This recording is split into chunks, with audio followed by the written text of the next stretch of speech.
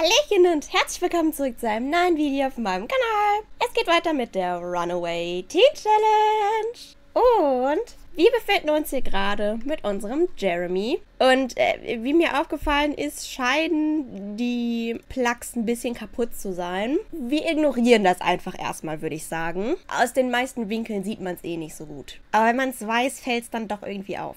Aber ohne Plugs wäre er halt nicht mehr Jeremy. Ich sag, wie es ist. Auf jeden Fall ist halt dieser Part sehr besonders, denn wir heiraten endlich. Denn Amaya hat tatsächlich den Anruf fürs Erbe bekommen, wo man dann heiraten muss. Und da wir das Geld gerade sehr gut gebrauchen können, weil wir ja umziehen wollen, haben wir einfach mal unsere Pläne umgeschmissen und gesagt, wir heiraten jetzt schon. Ich bin sehr aufgeregt, wenn ich ehrlich bin. Ich habe schon deren Outfits vorbereitet und ich habe schon fast geheult dabei. Ich sag, wie es ist. Deswegen würde ich jetzt einfach mal für heute die Hochzeit hier hinzufügen. So, und erstmal laden wir natürlich Luna als Trauzeugin ein. Dann ist die Lane unsere Offiziantin. Das mit dem Blumenkind hat funktioniert, jawohl. Ich hoffe, dass es funktioniert auch, ne? Und dann haben wir natürlich noch ein paar Gäste. Als ob wir nur sechs reguläre Gäste haben. Das ist tatsächlich gar nicht so viel. Aber ich sehe die auch ehrlich gesagt nicht mit so einer Riesenhochzeit. Im kleinen Kreis ist ja auch schön. Ich glaube, das sind so die Dinge, die denen am wichtigsten sind. Weil ich habe jetzt auch keine Torte oder so besorgt. Aber ich finde, das muss doch nicht unbedingt sein.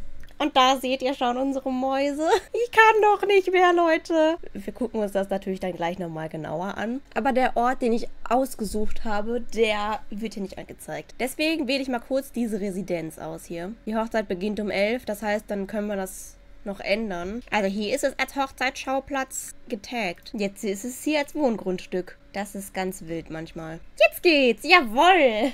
Sehr schön. Da sind wir jetzt so gut wie ready. Hier wird noch einmal Panikkacki gemacht und geduscht. Ich bin so aufgeregt, Leute. Warum steht da jetzt nur noch zwei Tage? Wir werden absolut gar kein Geld mehr dafür bekommen. Es ist absolut sinnlos gewesen, dass wir das angenommen haben. Naja, ist jetzt auch egal. An dem Punkt ist es auch zu spät. Okay, ich war gerade ein bisschen verwirrt, eben als ich sie angezogen habe, weil es einfach aussah, als hätte sie so ein kleines Babybäuchlein und ich war schon so, what is happening?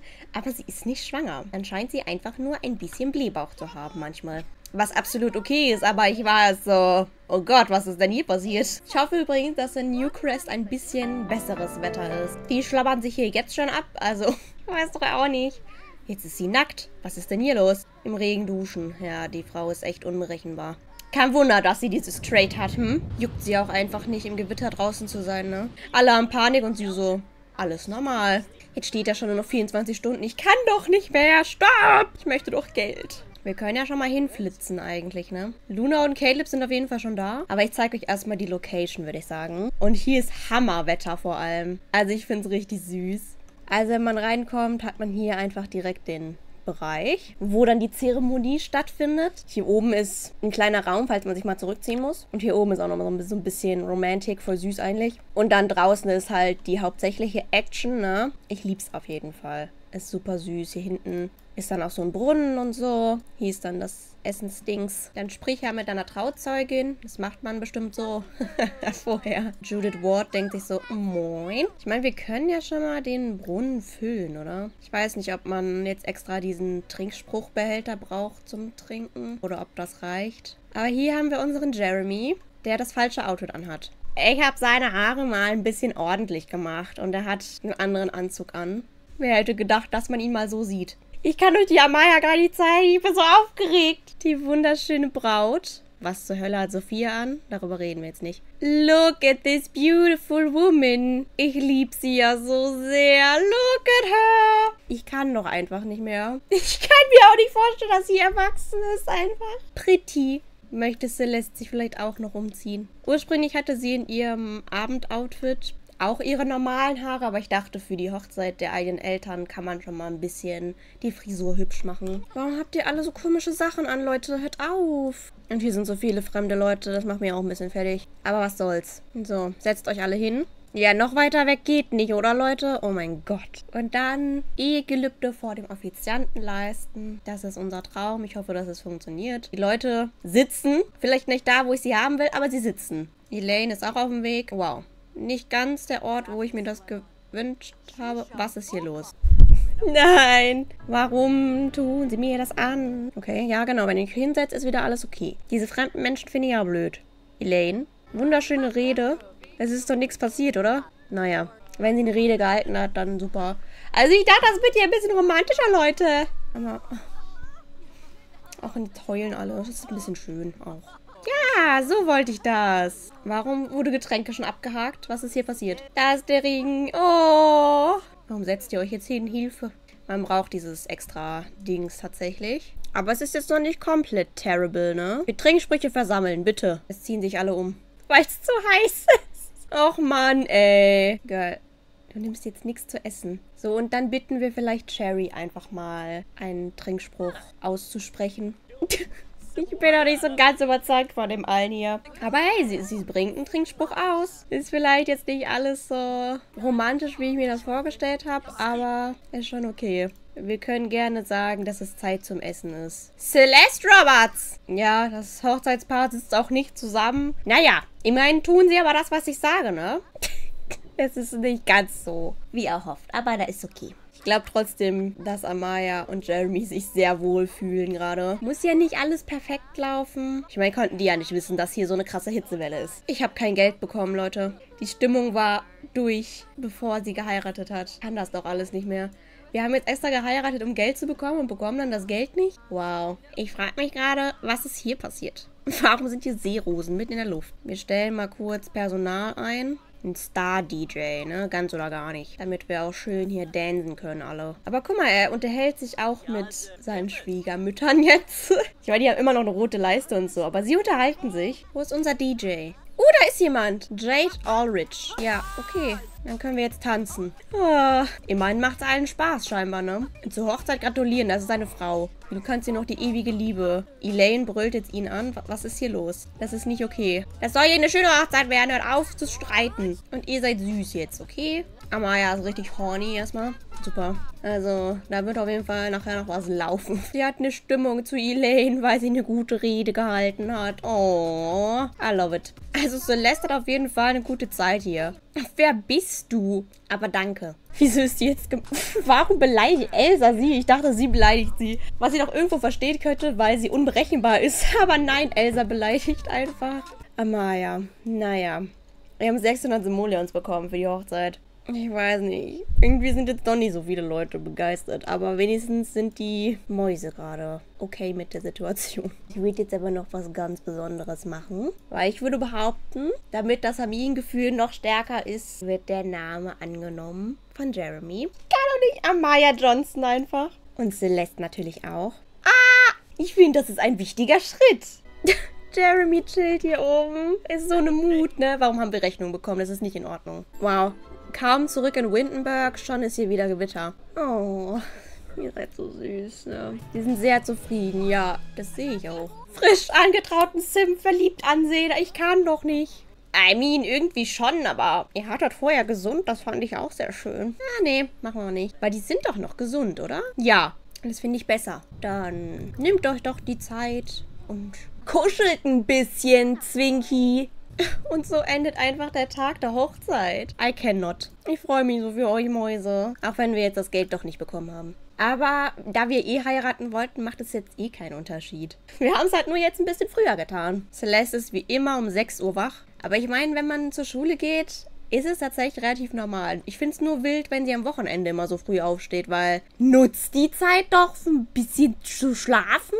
Girl, kannst du noch kurz die Rechnung bezahlen, bevor wir es vergessen? Ich werde auf jeden Fall nach dem Part mal schauen, wie viel Geld jetzt wirklich noch fehlt. Also, dass ich einmal alles einsacke, was wir brauchen für den Umzug und dann halt einfach mal schaue, wie viel da wirklich dann noch fehlt finanziell, dass wir halt einen genauen Wert haben, wie lange wir dann noch sparen müssen. Sie hat einfach nur noch einen Tag, den sie sich frei nehmen kann. Ups, wenn ich groß bin, möchte ich Ninja werden. Was muss ich jetzt tun, wenn ich später ein Ninja werden will? Ich denke, wir sagen ihr, dass sie üben soll, wie man sich verbirgt. Girl, es reicht. Räum das jetzt sofort auf. Mach mich fertig. Und du, mach mal eine Simstagram-Story. Ich bin verheiratet. Ich meine, kann sie ja auch ein Video zu machen, ne? Und Jeremy sollte sich dann auch einen neuen Job suchen. Simstagram-Server. Nur weil wir Level 5 sind? Wow. Auf gar keinen Fall. Oh, das finde ich ganz passend eigentlich, dass er sagt, wir arbeiten an einer Mod für ein Videospiel. Das nehmen wir. Wieso haben wir schon mit Kunden gechattet? Machen wir vielleicht gleich nochmal. Ja, weil, also weiß ich nicht. Und wir wollten ja ein neues Bestreben wählen. Also wir haben ja dieses hier mit Programmieren und so.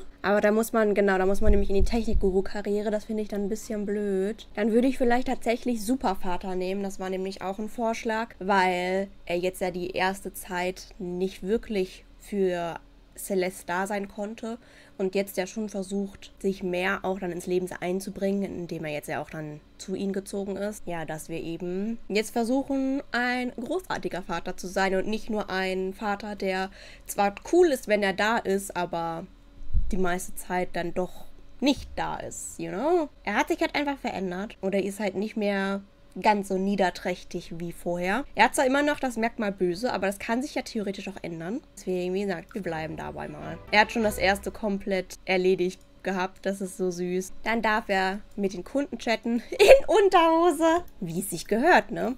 Ich denke, viele Freelancer werden das kennen, dass, wenn man von zu Hause arbeiten kann, dass man dann auch gern mal in Unterbuchs hockt. Also ich habe eine Hose an. Nur um das nochmal klarzustellen. Das Chatten ging auf jeden Fall fix. Ah, und, und die möchten schon wieder, dass wir ein Video hochladen. Wir bekommen halt mehr Geld, wenn wir ein Video zum Thema Kochen hochladen. Aber ich glaube, es ist okay, wenn wir einfach dann sagen, hey, auf der Hochzeit, wir, wir können ja über das Essen reden und das dann zum Werbepartner quasi überstülpen.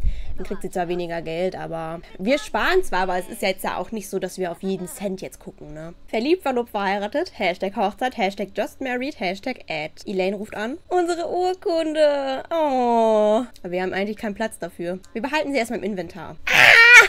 Jeremy war in letzter Zeit richtig fröhlich. Alles läuft gut und er hat keine Sorgen. Ja.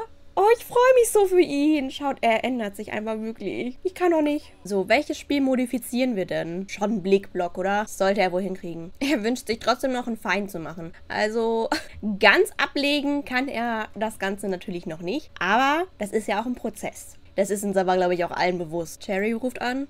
Sie möchte auch telefonieren. Immer diese Mütter, die anrufen. Ist großartig das Beste, was es sein kann? Ich lade es einfach hoch. Noch mehr Disgusting geht nicht, oder? Yay, Geld. Fortschritt bei der Angstbekämpfung, das ist auch super wichtig. Es wäre schon cool, wenn sie irgendwann alle ihre Ängste fertig hat, aber... Fertig hat vor allem, dass sie die ablegen kann. Aber es ist schon unrealistisch, dass sie alle Ängste verliert. Aber je mehr, desto besser. Ich finde aber auch schön, dass der Trott bei denen einfach weitergeht. So, gestern war die Hochzeit, das war so ein komplett besonderer Tag und einen Tag später arbeiten die weiter an ihren Dingen. Sie dehnt sich schon, da kann sie auch joggen gehen. Gemeinsam sind wir stark. Och, Mausel. Ich glaube nicht, dass man sich bei Jeremy noch Gedanken machen muss, dass er Interesse an irgendeiner anderen hat. Alia möchte vorbeikommen. Gerne. Ich habe gesehen, was du letzte Woche getan hast. Ich war da. Ich habe alles gesehen. Du steckst echt in Schwierigkeiten, Mädchen. Du kannst nicht irgendwie eine Achtjährige oder so anrufen und die versuchen zu pranken. Ich glaube auch nicht, dass sie einfach auflegen würde. Ich glaube, sie würden fragen, ähm, hallo?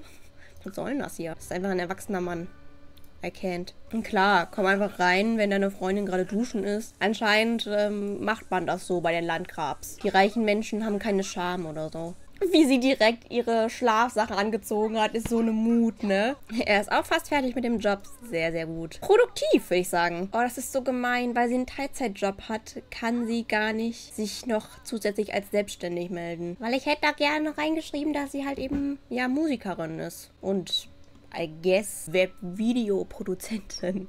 Aber ich kann halt nicht. Das hat super funktioniert, sehr schön. Sophia ruft an und sie hat sich mit irgendjemandem getroffen. Freut mich. Vielleicht ist die Person ja dann auch mit für die Kinder da, weil sie hat ja auch Kinder. Also, das ist ja wirklich, wir, sind einfach mit Teen Moms irgendwie zusammengekommen. Und vor allem von den anderen wussten wir es ja auch lange nicht. Deswegen ist das irgendwie nochmal besonders wild alles. Amaya lässt es sich auf jeden Fall gerade noch gut gehen. Und die zwei Mäuse spielen hier süß. Ich kann es auch kaum abwarten, wenn Celeste tatsächlich dann auch eine Teenagerin ist. Also ich meine, ich bin ja immer diejenige, die sagt, oh mein Gott, ich kann das nicht fassen und so, aber ich freue mich trotzdem, weil das Teenager-Umstyling ist immer so das krasseste, meiner Meinung nach. Und wir alle wissen, wie sehr ich Umstylings liebe. Und ich glaube, Celeste hat ein Riesenpotenzial, weil A, hat sie super attraktive Eltern. Und B, ist sie übel die coole Person. Deswegen bin ich einfach schon super gespannt. Ich denke schon, dass wir so lange noch spielen werden. Weil ich habe ja gesagt, so plus minus 50 Parts. Und sie hat jetzt so in so drei Wochen Geburtstag. Werden wir ja wohl noch hinkriegen, ja. Außer ich brauche wieder sehr lange für meine Tari. Dann wird es schwierig. Aber es wäre schon cool. Wenn es knappig wird, können wir sie auch einfach frühzeitig altern. So ist es ja nicht, ne? Ist es nicht ein bisschen unangenehm, wenn die Tochter Besuch hat, die ganze Zeit daneben zu sitzen? Dass er mal reinschaut, kann ich total nachvollziehen. Aber dass man die ganze Zeit daneben sitzt, ist wild, glaube ich. In dem Alter möchte man das schon doch schon nicht mehr. Sie muss auch direkt gehen. Sie so, mm, unangenehm. Oh, wa warum? War er war jetzt gemein zu ihr, was? Bitte entschuldigen mir deine Tochter? Ich glaube, manchmal findet er auch einfach nicht die richtigen Worte, wenn ich ehrlich bin. Er möchte ein guter Vater sein, aber vielleicht gerade eben, weil er in sich noch dieses Böse hat, rutscht es dann auch nochmal wieder durch, ne? Aber ich habe wirklich das Gefühl, dass es weniger geworden ist, seitdem wir ihn jetzt halt im Let's Play so integriert haben. Also, es gibt Fortschritte. Amaya hat einen neuen Urlaubstag verdient. Yay! Das ist doch genau das, was wir uns gewünscht haben. Warum hast du die Blumen eingesammelt, hä? Da passt man einmal nicht auf. Ich würde aber an der Stelle den Part beenden. Ich denke, dass es sehr, sehr schön war. Wie gesagt, ich werde jetzt gleich einmal schauen, wie viel Geld wir genau in unserer Bank brauchen, damit wir uns das Haus leisten können, also die Doppelhaushälfte, damit wir endlich umziehen können. Und dann hoffe ich, dass wir das jetzt irgendwie demnächst machen können. Vielleicht hasseln wir dann beim nächsten Mal nochmal richtig rein, damit wir es vielleicht in Part 40 machen können. Das wäre super cool. Vielleicht schaffen wir es aber auch im nächsten Part. Ich weiß ja nicht, wie viel jetzt noch fehlt, ob überhaupt noch was fehlt. Entschuldigung für den Hickauf. Ansonsten wie immer, bei Ideen gerne in die Kommentare damit. Und wir sehen uns bestimmt beim nächsten Mal wieder. Bis dahin und tschüss!